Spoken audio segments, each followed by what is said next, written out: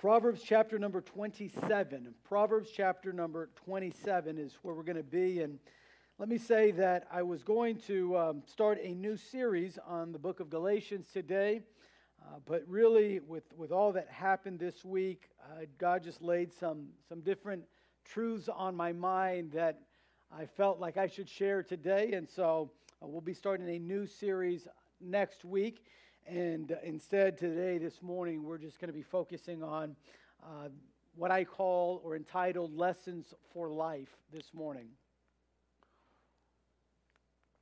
As Brother John was saying, I, um, we, we, we had that funeral on, uh, on Thursday and uh, Friday, and it was on Friday there at the gravesite just shortly after. Um, Brother Robert Arellano, who's four years younger than his brother Antonio, who we were burying, um, just, I don't know, he finished preaching his message, and, and about 15 minutes afterwards, in fact, uh, I was sharing with someone earlier that I was the second to last person he, he spoke with. I, I, I saw his son, gave him a hug, and told him, hey, we really loved your uncle. And, and I said, where's your dad, by the way? I want to, you know, say, say bye to him. And, and um, let him know I appreciate him and, and love him before we, uh, before we go back. And uh, he was sitting under a tree, and um, of course, it was, it was a little bit warm that day, and um, he was kind of just drinking uh, a Coke to, to kind of get his sugar levels back up and things like that. And I went over, spoke with him uh, for probably two or three minutes, just letting him know that we loved him as a church, that uh, we were uh, praying for their family, sharing some words of uh, how I appreciated his brother, who is uh, Brother Antonio.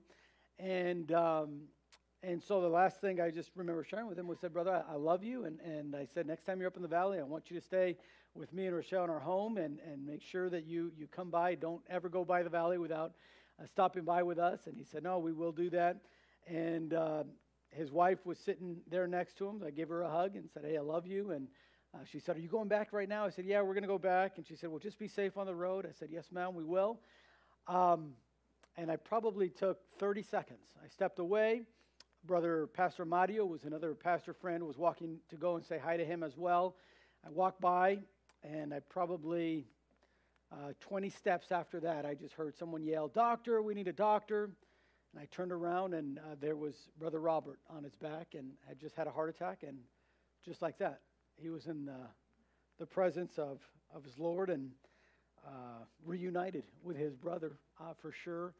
Uh, something that happened so quick. And uh, uh, on the way back up, I was, I was thinking, I don't know how to process this. I don't know if you've ever been like that in a situation in life, but I was still mourning his brother. And now this happened. Both of them were our missionaries for well over 20 years here at our, at our church. And um, um, I, don't, I don't even know what words to express, just the, the level of when that happens. You, and if you've lost someone close, you know. It's just, you kind of, I think the first state of mind is denial. Like, no, he's, maybe he just passed out. Maybe um, his cousin is a doctor and he was there and started doing CPR right away. And, and uh, shortly after, took him to the hospital and, and then they gave us the news. And uh, as I thought about all of that that was happening, um, really on the way back from Monterrey, it's about a two and a half hour drive, and, and then all day yesterday, I was just kind of thinking um, w- what to think of this and, and remembering their memory, their legacy. And, uh, and I thought, you know, I, I think this is what I want to share in, in church, and just kind of felt like the Lord was, was laying this on, on my heart. So, uh, may not be the deepest message. It's not going to be probably truths that you've never heard or lessons that you've never had, but they're lessons that I was reminded of through uh, Antonio and Robert, uh, my two friends. They were way older than me, so they were not just friends, they were mentors. Uh, March 29th of 2022, uh, Brother Antonio went with the Lord, um, had, as I've explained, four heart attacks that, that day, and God miraculously woke him up he was able to say bye to his children, say bye to his grandchildren, and, uh, and later that week um, didn't wake up anymore. Um, and, and then with what happened on Friday with Brother Robert, uh, which was on April 22nd. Lost another friend. Both of these men were people who had an influence on my life, had an impact in my life in a, in a very positive way. Um, their faithfulness was seen and heard by the decisions that they took in their lives, by just their daily life, the way they lived. It was, it was something that uh, I didn't talk to them every day, didn't have to talk to them every day. Um, anytime they were coming stateside, they would stop by our church. And if it was on a Sunday, they would be in our services. If it was on a Wednesday, they would be on our services. And um, men that um, the opportunities I had to talk with them were always, always uh, very encouraging and um, men that, that I appreciated greatly. Uh, they were used of God to between both of them, they planted a total of um, at least nine churches there in Monterrey. Um, and I just, at their funeral, uh, they had more than 800 people show up. That's the kind of people they were. Uh, people appreciated them, people loved them. And uh, as, I, as I thought about what I learned from them, uh, the lessons that I, that I learned, I, I thought, you know what, that's, that, that's what I want to share today. And, and, and I think maybe God can use that to encourage you this morning, but also maybe to challenge you uh, and challenge me uh, to be that type of friend for others and uh, be that type of mentor and try to have that impact in others. Proverbs chapter 27 and verse number 9, it says, Ointment and perfume rejoice the heart, so doth the sweetness of a man's friend by hearty counsel. And when I, when I think about that verse, that, that they came to my mind. Uh, they were people that were um, that, that brought joy, and, and I could rejoice because they always had an encouraging thing to say and a helpful thing to say. And so uh, this morning, I just want to give you four quick lessons for life that they taught me as I spoke with them, spent time with them, and, and what I observed in their life. Uh, Antonio, who was only 62 years of age, and his brother Robert, that died there at the cemetery, was only 58. Very young, very young. Um, one of the pastors we were traveling with, um, he's, he, he told me afterwards, he said, You know, uh, Jeremy, it, it just makes me think how lucky I am to get to 70. Lucky. He said, uh, You know, they, they were in better shape than I am.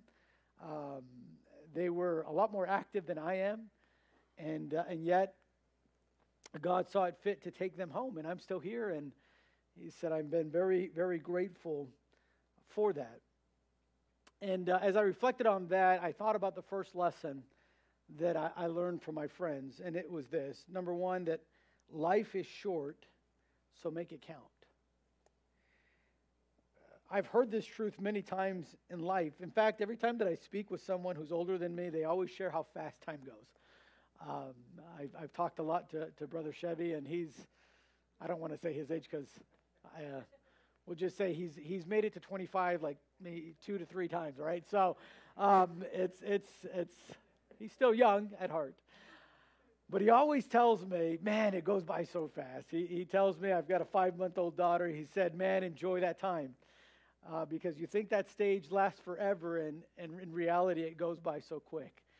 Um, and, um, and I think it's a, it's, a, it's a truth that most of us know. We, we know it up here. Um, and, and we can think about how life goes so quick.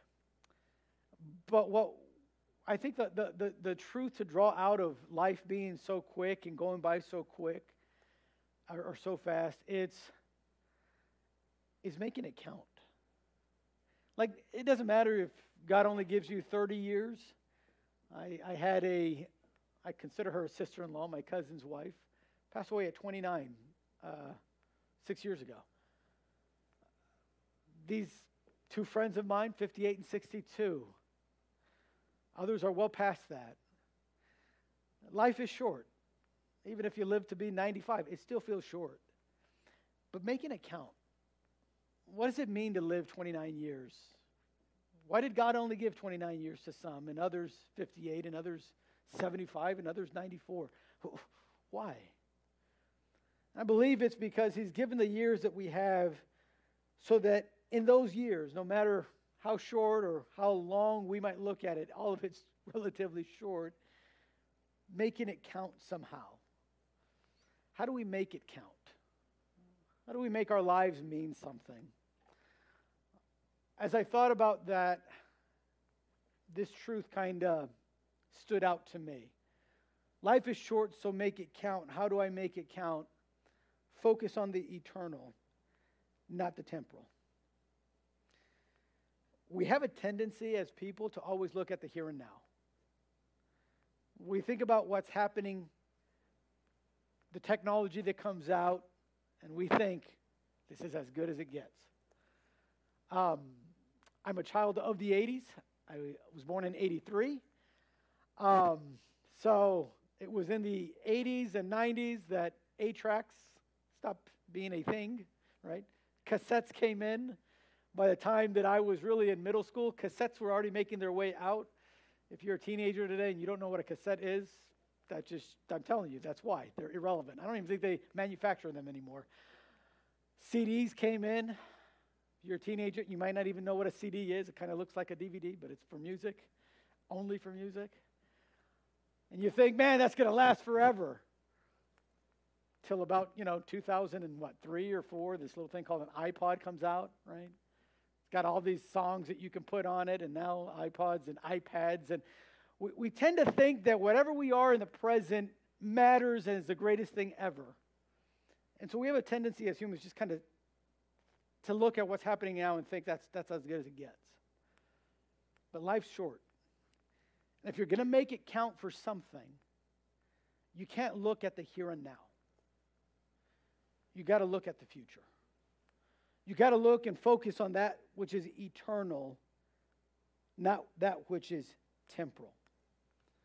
Let me tell you what happens when you just look at the here and now. You miss a lot.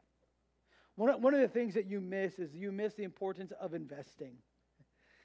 The, the only way that you can impact the future right, is investing now in the future. Um, we see this all the time. Uh, we're seeing it more and more because we are a society and a country that is turned into immediate gratification, right? Um, you get a $3,000 limit credit card, you spend 4000 I mean, that's just how we live in our society. Right? We want now, we want things here and now. But, and, and, and there are many people facing this, they get to retirement age or an age where they can't work like they used to. And guess what? If you didn't save anything, it gets really tough. The only way that they can really impact their life now is from the decisions that they made yesterday. My, my dad used to tell me all the time growing up. He said, Jeremy, you're living today the decisions you made yesterday, and you're going to live tomorrow the decisions that you make today. Focus on the eternal, not the temporal. Here and now comes and goes. Life is short. You want to make it count? Focus on the eternal. If not, you miss the importance of investing. You'll miss the importance of significance. You know, living for today leads us to make decisions that are insignificant. It really does. Uh, you, you can spend your money on insignificant things. You can use your 24 hours that you have in a day doing insignificant things, activities. Anytime your focus is on the here and now, we miss it. Matthew chapter 6, verse 25, Jesus, kind of speaking on this topic, said, Therefore I say unto you, take no thought for your life, what you shall eat, what you shall drink, nor yet for your body, what you shall put on. All that is the here and now and the immediate. He said, Is not the life more than meat and the body than raiment? In other words, you're going to make life count. You can't just focus on, hey, what am I wearing right now? What's in style now? What am I eating now? No, no, it's got to be bigger than that. Don't focus on the temporal, focus on the eternal. And the other thought on that is this invest in people, not in possessions. When I think of these two men, my friends, Brother Robert on Friday literally 30 minutes before he was in the presence of God, was preaching a message and sharing the gospel. just sharing what God had taught him in his life from the Bible. He died in the service of God. Brother Arellano, before he had that heart attack, he was in Dallas. He lives in Monterrey. You know what he was in Dallas doing? He wasn't vacationing, he wasn't just kind of living it up. He's preaching a conference, a missions conference. He preached on Friday and had a heart attack on Saturday. You say, well, why do you share that? Because they were focused on the eternal, not the temporal. And I love the fact that they were investing in people and not possessions. You know, possessions come and go. there are people in this life that all they do in the 30 years of life or the 58 years of life is just try to accumulate things. And I can tell you, I've fallen victim to that. I like things. Ask my wife. I love presents. Any present. I don't even care. I just love gifts. I, I see that in my, in my second son, Jordan. Man, me and him, we are so alike. Right? I mean, I don't walk into Walmart without walking out with something. Right? I tell my wife, like, I didn't, I didn't come to waste 30 minutes of my time. All right? Even if it's a pack of gum, I'm buying something. Just love things. Right? Uh, I, I love that, that Jordan, like he, he always, even even every Sunday, you'll you'll notice it now, but he always has something in his hand, like a little box with little Legos, and and he loves a little like if there's a little briefcase, he's like, Dad, here's my briefcase. He'll take it with him. I'm like, okay. We just love accumulating things.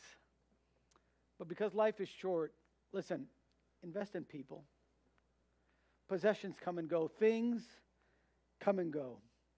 It's kind of like the, the sticker uh, you maybe have seen it, the, the bumper sticker that says, He who dies with the most toys still dies. We're not taking it with us. Accumulating things is nice.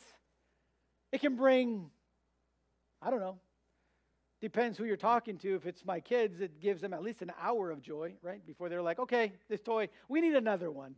It's not as, as fun as it was an hour ago when we bought it. And we laugh at kids for that, but you know the reality is we're kind of like that, right? Like, oh man, we really need a new car. Why, did yours break down? No, no, no, but you know, it's been three years. Come on now. It's been six months. We need the next one. By the way, I am not preaching against having cars. Have a nice car. I'm not saying that. All I'm saying is, as we get stuff, let's not make our life about stuff. Invest in people. You know, investing in people is just so much more re- rewarding. I remember my dad telling me, you know, Jeremy, people is the only thing you're taking to heaven. That's it. Everything else stays here. You can share the gospel with your kids and make sure they're going with you. You can share it with your neighbor and make sure he's going with you. You can share it with coworkers and make sure that they're going with you. It's the only thing that's making it out of this life people. Invest in people, not in possessions. It's so much more rewarding. Possessions only bring temporary relief and joy. People can give lasting relief and joy. Jesus said in Luke 19:10, "For the Son of Man has come to seek and to save that which was lost." And Jesus said, "I came for people, not for things." I left things for people. Invest in people. Life is short. Make it count. The second lesson I learned was serving God is worth it all. Brother Antonio used to say that all the time. In fact, on the little bulletin that they printed out for him on his funeral, it said, Vale la pena servir a Dios. It is worth it all serving God. It's worth it. It's not original to him, wasn't original to Robert, his brother, but it does describe them. And it ought to describe us. Showing that serving God is worth it all requires faith in what God says. If you really, if you say, well, how do you know that it's worth it all? Faith. I don't know how it all ends. I've never experienced death. And if you say, are you scared of death? Absolutely. I think we're all a little bit frightened. Nobody wants to die unless you're being tortured or something. It's not something we desire, but we know it's coming. And the way we face that greatest fear that man has is by faith. In fact, some people say it's faith over fear to be victorious in life. Faith over fear. Serving God is worth it all, but it requires faith in what he says. In fact, Hebrews 6:11 says, "But without faith it is impossible to please him." For he that cometh to God must believe that he is, and that he is a rewarder of them that diligently seek him. Serving God, you can see the impossible happen. You can see a drug addict leave drugs. You can see an alcoholic stop drinking. You say, oh, doesn't the world do that too, Pastor? I mean, I've seen people in AA do that. Yeah, you're right. But they don't invest in the eternal just for that. But God does. Not all of them save their marriage, but God can. God specializes in the impossible. And when you serve Him with your life, you get to witness that kind of stuff. You see a life change and a purpose changed. I don't mean to be always using Brother Chevy as an example here, but I'm going to do it again. His kids are about my age, so that's why using him right now. But they've told me, they said, Jeremy, I never thought I'd see my dad do what he's doing now. Never. He ran our workday yesterday. His son told me, Jeremy, I never thought I'd see him even push a lawnmower. he doesn't. Growing up, never saw that. But he got saved. Things changed for him. God worked in his life. And now on a work day, he's leading the men in putting mulch down and going and getting, getting his hands dirty, doing all of that. You serve God, you see the impossible. It requires faith, though. But not only does it require faith, it, re- it requires commitment. You can't serve two masters. You can't be divided in your passion and in your love for things. When we're divided, it results in inconsistency in our life at best. It produces hate at worst. Serving God is worth it all. It will require faith from us so we can see it and live it and experience it, but it'll also require commitment. Commitment that sees through the darkness, commitment that'll build our faith, a commitment that opens our understanding and fills our hearts. Commitment does that. When you're committed in serving God, you see why it's worth it all. Jesus, sharing this truth in Matthew 13, said to his disciples again, The kingdom of heaven is like unto a merchant man seeking goodly pearls, who, when he had found one pearl of great price, went and sold all that he had and bought it. Commitment. To say, it'll cost me everything. Yes, it'll cost you everything. Jesus said, if you're going to follow me, deny yourself, take up the cross and follow me. It's going to cost you everything, but it's worth it. It requires commitment, my all, yes. Blood, sweat, and tears, yes. But you'll find that it's worth it. It's worth it. It's just a lesson that I saw in their life. Let me give you a third one real quick. The spotlight isn't everything in life. The spotlight isn't everything in life. I saw this in their life. In a world full of influencers and YouTubers, it's good to remember this truth. I mean, there's literally millions of people that that's what they want in life is the spotlight. Fame. People know my name. Get as many likes as I can or any as many views as I can and that's what it is for them. But I I've learned that the spotlight isn't everything in life. You know, our worth isn't determined by how many likes we receive on Facebook or Instagram or TikTok or whatever the latest platform, social platform is. It's not revealed there.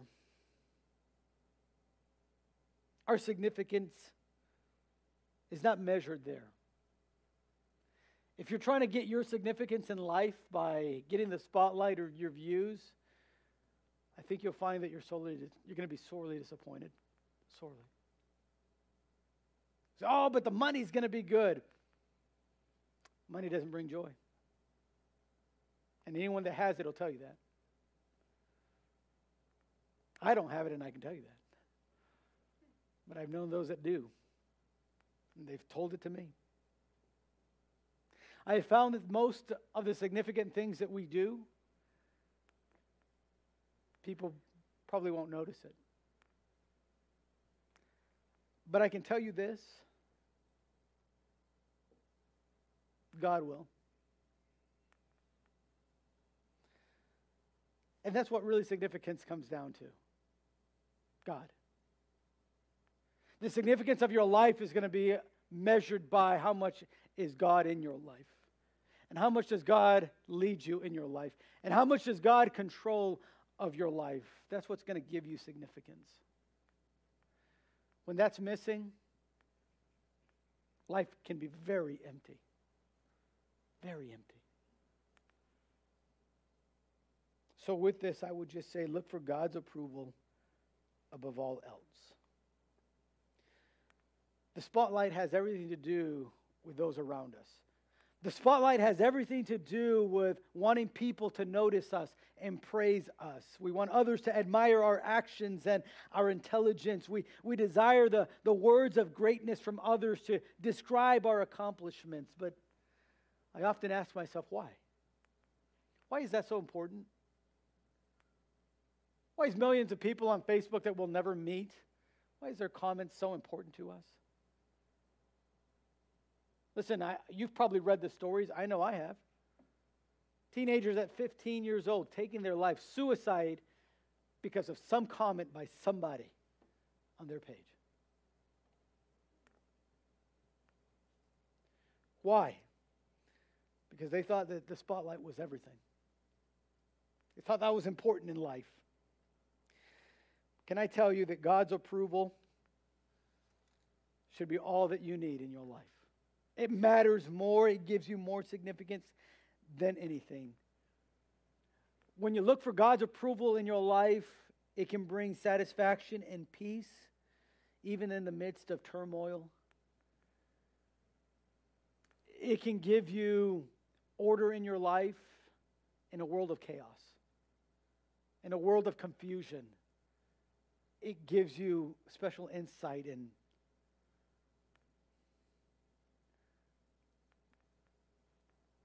It gives you, I don't even know how to describe it. Just gives you a whole different way of thinking and viewing things. To look for God's approval above all else. Psalm 118:8 says, It is better to trust in the Lord than to put confidence in man. They say that there's 1,188 verses in the Bible. The very center of the Bible, they said, is Psalm 118, verse 8. And in the center of this book, God says it's better to put your approval and find your approval in me than in others because the spotlight isn't everything. It's just not. And then determine to do what is significant. Determine to do what is significant in your life. There are going to be a lot of people that don't appreciate or admire what you do for God. Others won't even notice it. Others don't even know how it impacts our world. Can I tell you something? Do it anyways. Do it anyways. Yeah, yeah, but but no one's going to write about me. It's okay. Do it anyways. Determined to do what is significant because it matters. Not because it's popular or convenient or safe or fun. Just do it because it's significant. Listen, I, I checked Fox News yesterday, not a mention, not even one mention of Antonio or Robert Arellano. Not one mention of nine churches in Monterrey because of their life's work. Not one mention of the sacrifice that they gave throughout their life, their faith in God, their faithfulness to God. Not one article, not one word. I found articles about Johnny Depp and Amber Heard, gives a rip about them. Apparently, enough people because they're writing it there. So insignificant sometimes what grabs our attention. Life's short. Make it count. Serving God is worth it all. And let me tell you, the spotlight isn't everything. If there's something I learned from my two friends, the spotlight isn't everything. They did what they did in their life because it's significant. Significance isn't significance because of people that recognize it. Things are significant because God says it's significant.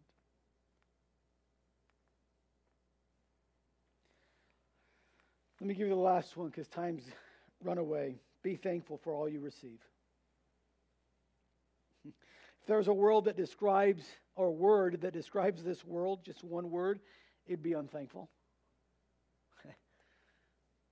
this world can be careless and cruel and condemning.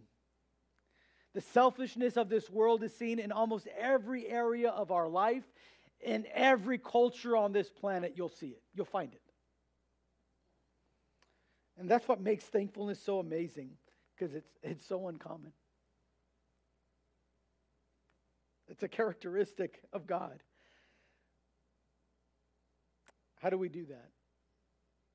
One of the things I, I remember most about both these men, they always wanted to do that, always. Uh, after they had been here on a weekend, they would text me on Monday, hey, Pastor, it's great to be in your church in those days I wasn't the senior pastor, so it was just, hey brother, it's good to it's good to be in your church. Enjoyed the service. I was so thankful for the encouragement that we were to them. They were always so thankful what they received and being thankful. Just want to give you two quick thoughts on that. Number one, show thankfulness by saying it. Our words mean things, don't they? When, when, when you hear somebody say, you're dumb, it means something. We don't go, ah, those are just words. no, people get in fights for stuff, just for words. Because words mean things. When, when, when someone just says something like, you're bothering me, it can be very depressing. Oh, because words mean things. You know, when it comes to thankfulness, say it. Say thank you. Tell your mom or your dad, thank you. Any new parent knows we wouldn't have made it a week without mom or dad. Not even a week. I don't think we'd make it a day and a half. Probably wouldn't make it a few hours. If I think about it. Mom just had you and left you in the hospital and nobody else went to attend you. Baby doesn't last forever. Can't feed himself? Can't get up and walk? It's nice to just say thank you. Mom didn't have to do that. Dad didn't have to do that. Your siblings didn't have to do what they do. Your friends don't have to do what they do. It's nice to just say thank you. Someone said unthankfulness is the mother of selfishness and pride. We should never get tired of saying thank you. And then show thankfulness serving others. Our thankfulness is reflected in our service to others. When a person has a heart of thankfulness, they don't worry about how they're coming off in serving others. There's, there's a story about that that we'll look at in John chapter 12, but someone that is just thankful and serving, their thoughts are not even on themselves at all. They, they, they're not wondering, like, am I making a fool out of myself by by serving them like this and being thankful like this. They don't. They don't. They don't. That's the last thing on your mind when you're doing that.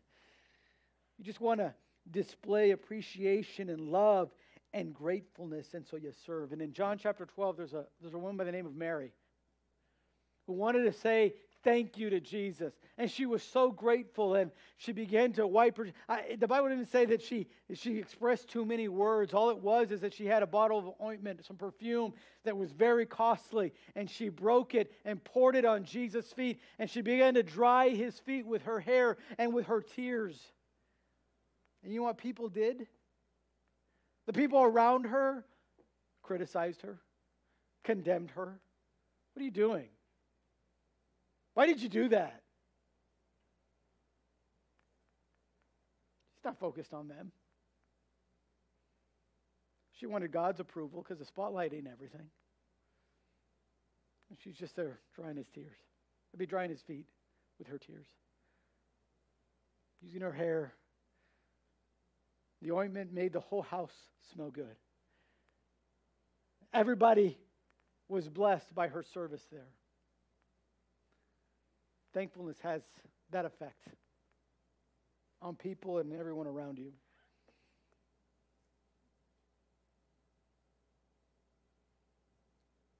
This morning, I know they're not the deepest of truths. They're just lessons that I learned from my friends. Life is short, make it count. Serving God is worth it all. Spotlight isn't everything in life.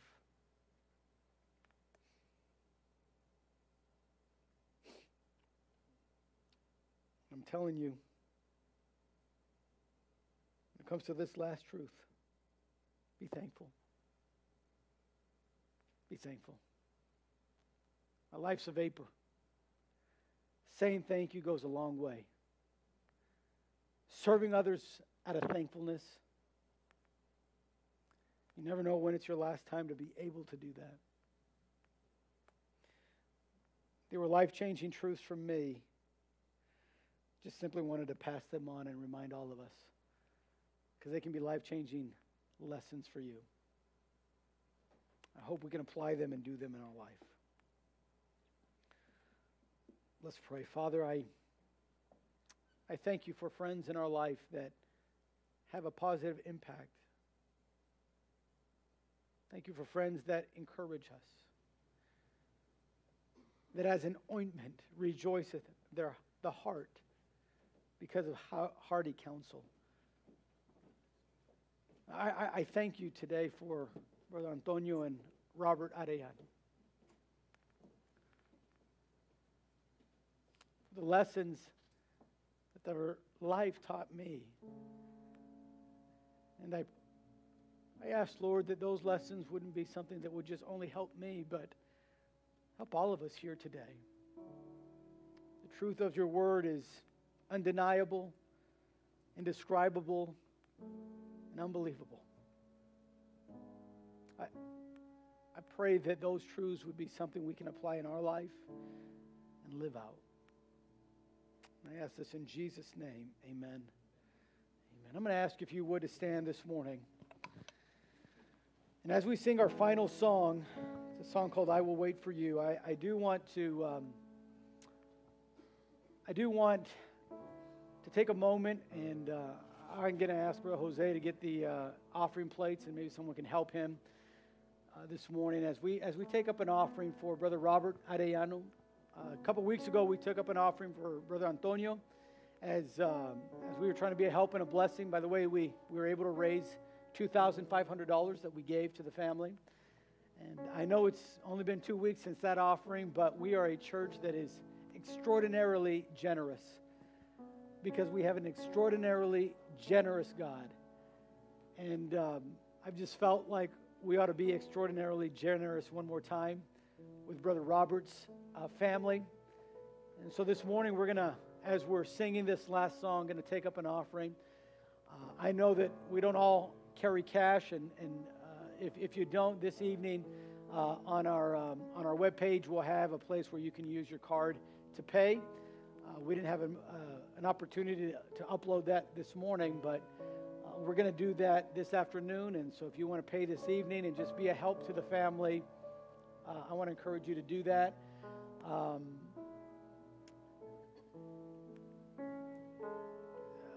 it was a very unexpected thing to happen. Um, but the, the good thing is, is that in the unexpected moments of life, we can do what God expects of us. That's to be a blessing and a help. And that's what I want to do this morning. And as a church, I think we can all pitch in and show them that we love them, that as our missionaries, we didn't just pray for them, but we actually practically did something for them as well. And, uh, and we want to do both. So uh, let's pray and ask God to bless this offering, and then we'll, we'll sing as they, as they receive the offering this morning. Father, once again, thank you. Thank you because you're a God that in our time of need, were there for us. And now, in this time of need, I pray that you would work in our hearts. Help us to be generous today. Console and comfort that family as only you can. Father, I, I pray that they'd be able to um, feel our prayers today, but that they would also see our love and our generosity towards them. So I pray that you'd bless this offering as it is a token of our love for them.